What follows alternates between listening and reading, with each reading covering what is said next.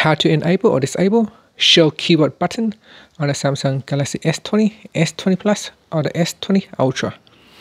Now first tap on the home key to go back to your home screen. Then swipe down at the top and tap on the settings icon. Next tap on general management and then tap on language and input.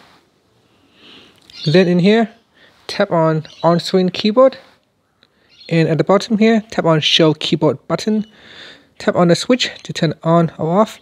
Now once it is on then when you are open up the keyboard so here I'm tapping on the text field this will bring up the keyboard.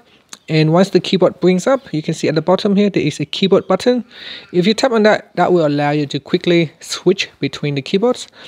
If you don't want to uh, turn it on there is also a button here we can switch it off. Now you can see it is off so if I go into settings you can see in settings it is now switch off. So in here we can switch it on or off. Now I have switched it on. And if I go in here it will now appears down here. So this is another way how you can turn it off. You tap on the keyboard down here and down here it, they also created a shortcut that you can turn it off directly from here without having you having to go into the settings. So it's the, essentially it's the same thing and that's it. Thank you for watching this video. Please subscribe to my channel for more videos